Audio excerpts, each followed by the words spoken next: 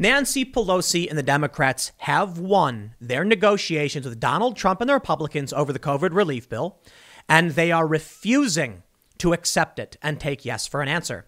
And you want to know wh- how I know this is true? Jake Tapper of CNN said, quote, "You could take yes for an answer."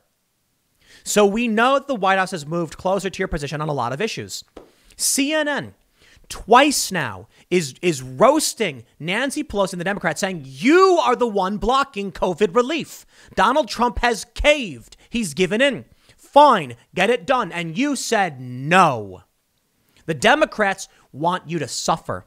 They're like a little kid watching ants in the magnifying glass, laughing as you suffer.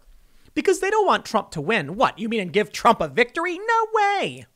From the Blaze, they say CNN host Jake Tapper grilled Speaker Nancy Pelosi on Sunday over why she continues to block passing additional coronavirus related aid that millions of Americans desperately need, all while blaming the White House. White House Chief of Staff Mark Meadows revealed on CNN State of the Union Sunday that Pelosi continues to move the goalposts on COVID 19. We have continued to make offer after offer after offer, and Nancy continues to move the goalposts. And as you know, we're up to 1.9 trillion I personally have talked to the leader multiple times. I have talked to senators multiple times. And at the end of the day, it was the Democrats who just last week who said they weren't going to support a $500 billion deal. So they said no to some relief coming to Americans. Later in the show, Tapper grilled Pelosi over why she continues to stall economic relief, highlighting the fact that the Trump administration has attempted to compromise with House Democrats. So we know that the White House has moved closer to your position on a lot on lots of issues: coronavirus testing, contact tracing strategy, unemployment benefits, local government. Tapper said before getting cut off by Pelosi. In response, Pelosi claimed Republicans have not attempted to compromise. And also this and also same thing, they keep moving the goalposts. They every time they say we move the goalposts, that means they're projecting what they did, Pelosi claimed. I'm sorry. When CNN is roasting you and calling you out, twice because Blitzer and now Tapper are doing it, I think it's fair to say, like, it must really be bad for Democrats if CNN's willing to call it out. The House Speaker then attempted to steer the conversation away from the COVID relief legislation. Tapper rejected the spin. But it seems like they, they keep moving closer and closer, he said, of Republicans. I get that you're waiting for it on paper, but it just seems like you're winning. I mean, that's what it seems like to me. I'm looking at all of the things the White House is moving forward to your position on, and it seems like you could take yes for an answer. Pelosi tried to continue blaming Republicans for the lack of a deal, but Tapper quickly reminded her that even Democrats are imploring their leadership to make a deal. One of your own members, Congressman, Congressman Max Rose, said this week that the Democratic Party needs to learn to a certain extent how to declare victory and go home. You're getting a lot of messages from Democrats saying this is good enough, we need to say yes. Nancy Pelosi isn't interested in helping you. She's not interested in getting you what you need to survive. She doesn't want to give Trump a win. This is what happens when Trump derangement is in government. Max Rose, props. But please spare me. You jumped on the impeachment bandwagon like a moron chasing after Pelosi. Maybe now you've finally grown a spine, and I can respect that. And Max Rose does seem to have one. I've seen some great videos from him. He really does just say it. I can respect that. But it's about time these moderate Democrats started saying, you know what? It's Pelosi. She's the problem. Get rid of her. The American people need relief right now. It's, they say more spikes are coming, things are going to get worse, whatever. Nancy Pelosi has Trump derangement and it's terminal to the point where she's like, I refuse to let Trump have any victories. She wants to strangle the American people out because she wants Trump to lose. And this is why Trump deserves to win. They say. Indeed, last week, the White House pushed a nearly $2 trillion coronavirus relief bill, which included many Democratic requests, making clear they want to compromise before Election Day. But Pelosi won't do it, even when Democrats say, please do this. Ro Khanna said she, she should do it. More than one Democrat in the House has already said, Pelosi, get the deal done. She doesn't care. She doesn't care about the 25 or so million people who are suffering and in need.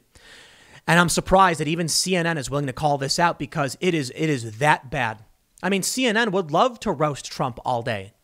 And now we're seeing the true depravity of people like Pelosi. I tell you what, Democrats, if you win the House, do not make her speaker again. She's never going to get voted out because the way, just the way the system is. People go in and check D on the box. She's got to go. I'll tell you what, man. I don't care for any of these people. The two Americas financing the Trump and Biden campaigns. I'm a fan of George Carlin. Remember George Carlin? I'm sure most of you do. If you don't, you got to go watch his stuff.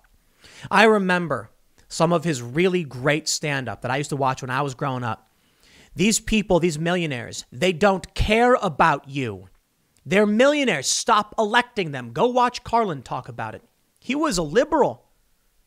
And now people are going to elect Joe Biden, who is being propped up by the wealthy elites. Okay, you say to me, but Tim, Donald Trump is the wealthy elite. There's a big difference between people who want to fund the guy who will line their pockets with gold and the guy whose pockets are lined with gold who is using that gold and losing it. Take a look at this story from the New York Times. This, this, this chart is amazing. Amount raised in millions by median household in, median household income of zip codes. Trump's donors overwhelmingly come from less wealthy zip codes, and it goes way down as the wealth the, the wealth of the zip code goes up. Joe Biden does as well, but he's got a spike here in median household income above $250,000. Donald Trump called this out at the debates. You're the guy funded by Wall Street. We don't take that money. Donald Trump raised half what Hillary raised, spent nearly half what Hillary spent in the last election cycle, and he won. Trump has got problems. I'll say it every single time, but he is not the candidate of Wall Street. He is not the candidate of the big tech billionaires who would sell you out to make a buck. He's not. So complain to me about him all you want. I'm sorry, man. It's Pelosi who is blocking what the American people need. It is Joe Biden who represents the billionaires. And where's Bernie Sanders? Sold us out in two seconds. As soon as they opened the door and said, Welcome to the Millionaires Club, Bernie, come on in. He said, Okay. To be fair, Trump is a billionaire. I know, I know. I'm sick of the elitism. I like populism. I do fear uh, populism without meritocracy, however. Just because someone fights for the will of the people doesn't mean the will of the, the will of the people is a good thing. People sometimes don't know what, what needs to happen, and sometimes things aren't publicly available to the people for security reasons. It makes it really, really tough.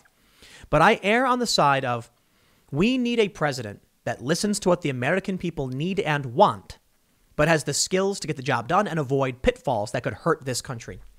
I don't know if Donald Trump is that man, to be completely honest.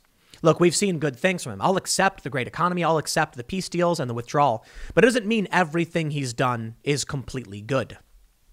I wouldn't know. I only have my issues that are important to me, which is the challenge. The president needs to represent everyone so he can look at the issues I care about, he can take action on them, and I'll say, all right, I accept these things, I like them. Joe Biden doesn't seem to care at all. Joe Biden, for 47 years, milked the system for all it's worth making himself very wealthy, and his brother and his son also very wealthy. Middle class working Joe with his son getting $83,000 uh, per month on the board of an energy company he had no business being on. That's Biden Inc.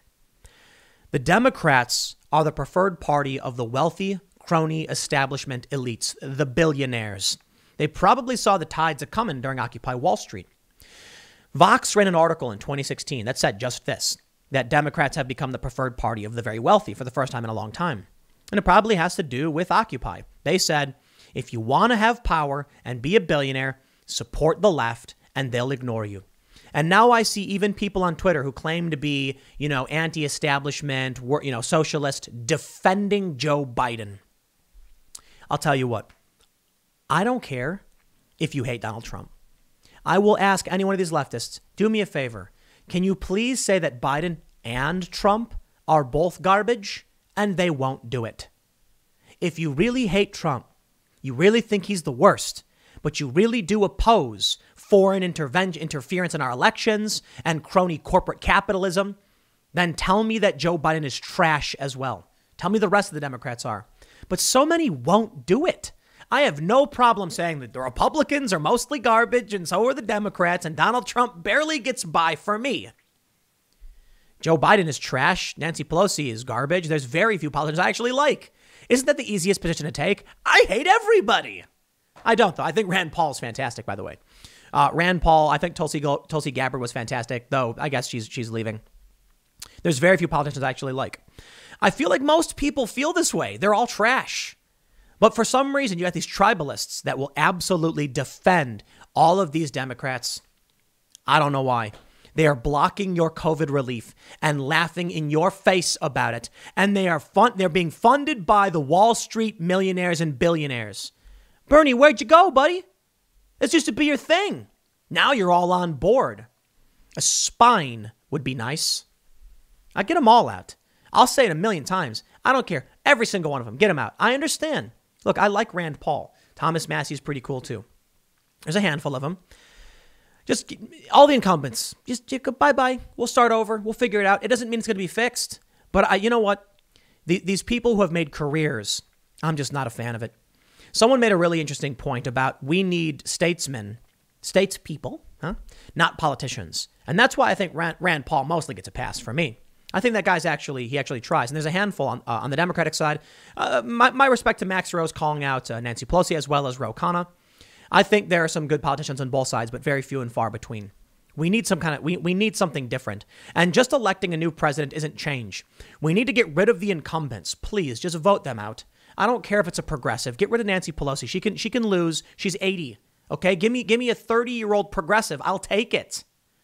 At least it won't be the same crony establishment elites. I'll leave it there. I got one more segment coming up in a couple minutes. Stick around, and I will see you all shortly.